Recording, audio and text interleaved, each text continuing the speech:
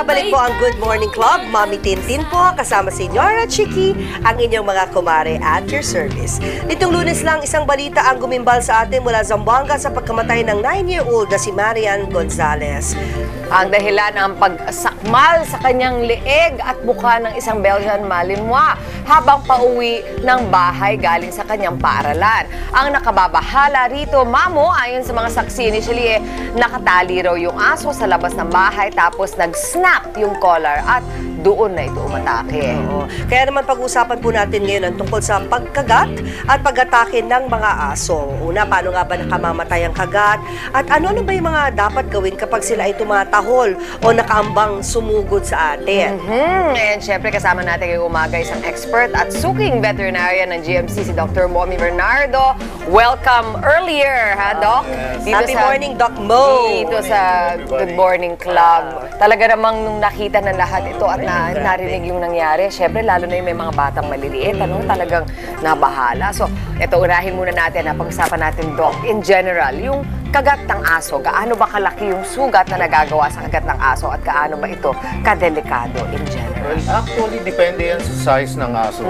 Ang smaller breed ng aso, siyempre mas maliit ang kagat nila. Ang mga malalaki, powerful breed ng aso, eh, medyo may kalakasan ng bite force at maaari siyang maka-inflict ng serious injury. Ibig sabihin, mas malaki yung bite niya. Ah, kung ito yung nandoon siya sa mga brachycephalic, medyo malapad ang, ang muka at maiksi, mas malakas naman yung mga closing power niya. So, Mati- maaaring maka-inflict ng talagang serious injury. Madi-differentiate ba natin, Doc, yung, yung intensyon na talagang mangagat at manakit dun sa parang playful, nip-nip lang na medyo, yun lang, yung parang Kunwa-kunwari lang kunya-kunyari lang or nakikipaglaro tapos medyo nasugatan yung bata. May Ang- ganun bang... Yeah, actually ang ano makikita natin ang difference eh dahil yung playful playful uh, bite usually hindi naman siya dinidiin ng aso. At ito yung na nangyayari kapag uh, naglalaro yung aso. Playful mood siya, nakikipaglaro sa iyo. Yung mga aggressive bite, sila yung bite na maaring merong force na ibinibigay. Meron din ang mga tinatawag na fear biter, yung natatakot yung isang aso at maaari silang kumagat dahil ayaw nila yung situation na ginagawa sa kanila. Yung mga aggressive bite, yun yung mga sumusugod. Which could be the case, possibility yun, no, na fear bite yung umiral dun sa asong nangagat. Kung fear bite siya, uh, either nag-encompass ka doon sa kanyang territory, pumasok ka doon sa lugar ng ano ng territory at maaari siyang ah, natatakot na kakagat siya. Magwa-warning ah, sign naman ng aso eh. Ika nga, Nagkakahol. ang antahol is ah, expression nila yan ng ano eh, ng different moods nila. eh. Dahil ah, katulad din natin kung nagagalit tayo, medyo alarming yung call niya. Pagka yung natatakot, medyo mas mataas yung pitch ng ah, tahol niya. Pag na pag naman na should I say na natutuwa, iba rin naman Iba rin. Oo. So, da- alam mo yung language of the dogs. Pero, Doc, ano-ano ba yung parte ng katawan yung delikadong makagat ng aso at bakit delikado? Well, ah, alam na natin, no? Ang vital organ natin na dito. So, kung malaki ang aso at ah, maliit ang kanyang nakagat, maaring mapuncture. Any part dito po pwedeng tamaan, pwedeng tamaan yung kidney mo, lalo na kung mahaba ang pangil, no? Ah, kung sa pating ah, upper mo, sa legs, ah, sa leg, I mean, ah, pwedeng madamage yung ano, yung mga major arteries at saka ah, vein mo dito sa leeg. At ah, kung malakas ang pagkakakagat, choke po pwedeng makras mo. Maaring ganun fight. nangyari kay Marian, ano, napuruhan yung, yung ug- ugat niya sa leeg. Maraming maraming mga possibilities na mangyari during an attack at ah, kailangan dapat iniingatan natin yung lugar ng mga vitals natin during mga condition na nakaka-encounter tayo ng mga stray dogs. Yeah, oo. Yung dog na itong nabalita, malamang wala namang rabies yun, ano? Hindi siya nag exhibit ng mga, yung ah, characteristics sa isang asong may rabies, di ba? Na medyo uh, talagang parang wala-walang control, sira ulo, nauulol, ganon. Ang rabies ay isang uri ng sakit eh. Ito'y nakukuha at napapasa ah, from infected na hayop. Eh, po pwedeng daga, po pwedeng aso, po pwedeng pusa, mamal, warm-blooded animal na maaring makagat yung ah, isang alagang hayop na magkakaroon siya ng incubation period at pag lumabas na yung symptoms niya, nagkakaroon ng rage, tapos ah, doon siya nang hahabol, anything that moves. So maaring doon ang ano At usually, pagka na lumabas na yung symptoms, namamatay din yung, yung aso. aso. Pero ang basa nyo dito, hindi. Tsaka, ang kailangan natin ah, ipaalam sa kanila, although habang usapin ng rabies, kapag kayo makagat na isang rabid dog, kailangan talagang magpa-anti-rabies siya. Kung hindi Yes, ka mamatay po talaga yan. Walang ligtas, hindi ho ba? Oo, totoo yan. Ah, dapat ah, babakunahan yung ano, yung nakagat. Yes. At ah, merong mga shots naman eh. You could go to ah, bite center, Yes. sa hospital, sa mga clinic.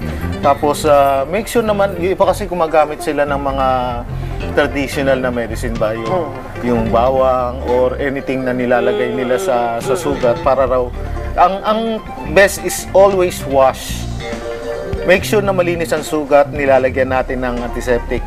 Paduguin, alisin yung dumi at laway. Ah, yun eh, nanggagaling sa laway eh. Na, na, na tatama sa sugat na in-inflict nung kagat. Nako, pero yun na nga, kung talaga mukhang rabies, kulang yun. Kailangan talagang diretso sa... Yes, oo. Yun. Tsaka depende yan sa layo. Kung malapit sa sa brain o doon sa spinal cord niya, mas, mabilis ang ang ano Kaya incubation. kapag ka nakagat sa mukha, ano, delikado din. Ito pa, lalo na sa mga bata, no, yung trauma ng, ng pagkagat ng aso, kaya maraming bata ang takot siguro dahil una, na, naririnig nila yung mga story ganyan or kapag nangyayari sa kanila, I'm sure mahirap mag-recover isang bata kapag nakagat. Oh, yeah. Doon nagkakaroon ng phobia sa isang aso, no? Or isang bagay na nakakatakot. Talagang kailangan ah, i ano mo i-rehabilitate mo yung bata dahil doon sa mga trauma na nangyayari. At ah, itong mga situation na to, no, dapat tinuturuan natin yung mga bata eh na kung paano talaga kumilos pagka meron kang stray animal na na-encounter. Ano nga ba? Ano ba yung mga tips? Yung mga siguro mga three or four general rules para alam natin how to behave kapag ka merong asong hindi natin kilala. Hindi kilala. Lalo na yun, kapag Oo, tinatahunan tayo yeah. ng aso, ano pwede natin gawin para hindi ma-threaten yung aso, tapos Yes. as a result, tayo ay kakagatin. Alam mo na, ah, alam natin, no, ang usually bata mas maliit. Mas maliit, mas ma-quick kumilos, ah, pabigla-bigla. Ang aso kasi, they're predator eh. I- ika nga, pack yan, lalo na kung maraming aso, sumusugod yan ng mas marami. At yung yung galaw natin, dapat ah, nire-restrict natin na hindi mabilis ang kilos. Hindi natin dapat lalapitan ng isang aso na hindi natin kilala ang na mabilis na galaw, yung biglang tatouch na yan. So, nagugulat yung aso, maaaring maka, maka-aksidente. Kung meron tayong encounter na aso na naka, nasa isang lugar, yung kanyang teritoryo, palagay mo na isang bakuran, huwag natin lalapitan beyond the point na alam natin na nag-start na siya mag ano mag-alarm sa iyo. Titingin. ah, ibig sabihin niyan lumalapit ka doon sa teritoryo niya. Pag nag-start ng tumahol, ibig sabihin nun mas nag-i-invade ka na ng territory. Para rin tayo yan eh. Ah, pag nagtuloy ka pa, that's the time susugod na yung aso at maaaring maka-aksidente. So avoid natin yun. Hinahamon mo na eh. Oh, tapos ah, try to avoid yung direct stare. Ah, Oo. Yung direct stare kasi sa kanila, parang hinahamon mo sila. ah talaga. Yes, oo. At ang mga aso, usually protective sila sa kanilang territory. Kung ah, normally merong alpha yan eh. Yun yung pinaka-leader ng pack. At ah, sa ating tahanan, tayo dapat ang leader ng pack. So, tayo yung ah, nagdi-discipline, responsible doon sa ating mga aso. So kung walang nag ano, walang nag-assume na alpha doon sa isang tahanan, nag nag-assume sila na Ah, sila yun yung pinaka.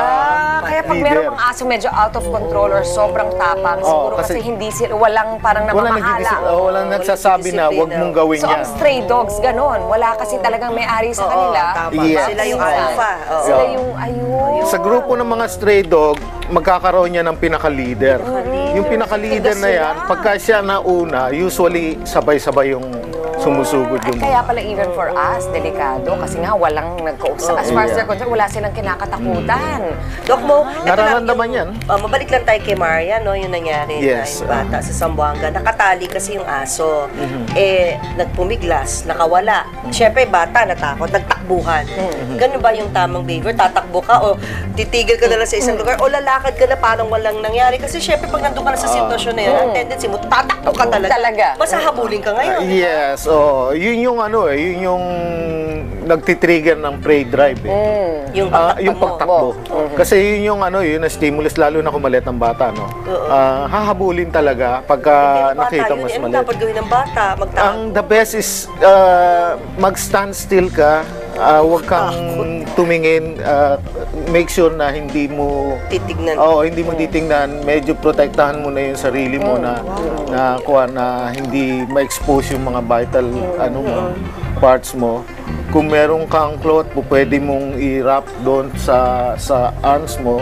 Yun na lang, ibigay mo arm mo. Rather than yung Pero vital. presence of mind yun. Kasi. Actually, it's more- ka nun eh. Oo. Pero kung hindi mo siya ginagambala doon sa ano, hindi mo na-invade yung territory niya, usually pagka nag-start ng tumahol yan, pag hindi mo tiningnan at Pag hindi nag-relax ka threat, ka, titigil oo, din. hindi ka naging threat sa kanya, titigil din So, siya. anong, anong basa niyo, Doc, mo dun sa nangyari doon? Na-threaten yung aso by the children? Maraming ano, maraming mga maaring mangyari doon sa situation na yun eh. Ang mga po pwedeng mangyari is uh, nakawala nga yung aso no, na invade yung territory niya. Uh, maaaring uh, agresibo yung aso, maaaring nag-assume siya ng alpha. So, uh, itong mga gantong kaso dapat tinitingnan natin kung ano talaga yung mga mga naging uh, uh, turn of events para malaman natin kung ano talaga The yung investigation pa yata. Yun, eh. oo. Yes. Pero quickly, Doc, para lang sa kapakanan ng ating mga manonood, kung ang aso ay may leash, may may-ari, naglalakad para mukha namang domesticated, okay lang ba agad na mag-engage ka? Pet him, play with him ay, kaagad? ay, hindi. Hindi it's, rin. It's always uh, no talk, no touch. Oo, ika nga kay Until the owner gives you a go signal. Ayun, siguro. ano, talk to the owner. Ah, okay, hanggang hindi mo kausap yung owner. Hindi mo alam yung behavior na Antayin, antayin mo yung ano, antayin mo yung go signal ng owner kung paano you properly approach. Kasi pagka lalapit ka sa isang aso, do alam mo maamo, no? At in-excite mo yung, ay, ang cute-cute mo, yung gano'n, tapos nilalaro laro mo, ah, tinataas mo yung level ng excitement stage niya. So, dapat, ah, mas kalmado ka, mas kalmado siya, mas behave, mas maganda at makakasocialize sa mga tao. Mm, kahit yung maliliit na Para hindi siya talon ng ah. talon. Oo. yung maliliit na ganyan, pwede rin pala Pwede rin, mag- Oh, yeah. May bagong dating pa ng mga aso sa bahay na si Pek- Pekingese. Meron ka? Master ang Wow! pangalan. Kakarating lang kahapon. Pero wala pang 6 months, so maliit pa yon Ah, Pekingese eh. So, nasa loob ng Establish bahay. mo na yung ano, yung hierarchy niyo. Yes. Kami ang boss. So as responsible dog Yeah. owners, dapat talaga Responsible dog Discipline mo yung aso. Even outside. Inside and outside. Yeah. Kasi ang pagkakaroon ng canine good citizen is through socialization, proper socialization at ah, yung ano interaction niya sa tao maganda dapat, hindi yung nag-snap. Okay, naku, maraming salamat, Doc Mo. Ang dami naming natutunan. At mula naman sa amin dito sa Good Morning Club, nakikiramay po kami sa mga magulang, sa naiwang mga mahal sa buhay ni Marian, yung bata po na nasakmal ng aso. At sa mga nag-aalaga po ng mga aso, please be responsible dahil cargo de konsensya po ninyo ang anumang pang- pangyayaring maaring idulot ng inyong kapabayaan. Madami tayong uh, natutunan mula sa, eto nga, kahandaan. Yung mga posibleng kapahamakan. Ano pa, first aid. Yes. Tapos yung just uh, proper behavior around dogs. Dogs, whether yung mga nakatali at may, may, may-ari or yung mga nakakalat dyan. Di ba, mamo? Yes. Kaya sa lahat po ng impormasyon, mapa-health, basic services o legal na diskusyon, dyan nyo maaasahan ang inyong mga kumare at your service. Yes. Thank you, Doc. Thank you, Doc. Thank you again. O eto na, ang ating stress number one. Meron ng kasagutan. On to stress number two na po tayo. Hirap ba kayong painumin ang inyong baby ng gamot? Worry no more dahil may tips kami para yan ay maging stress-free.